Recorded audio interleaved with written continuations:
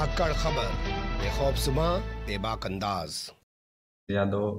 विनोद यादव नन्हे यादव गोविंद यादव ये सभी लोग लाठी डंडा लेके हमारे दरवाजे पे आए थे और जान माल से मारने की धमकी दी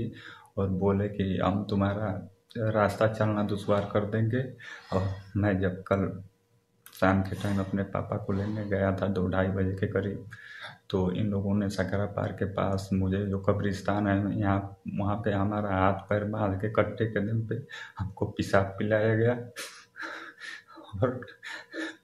हमारा जनेऊ तोड़ के हमको हमको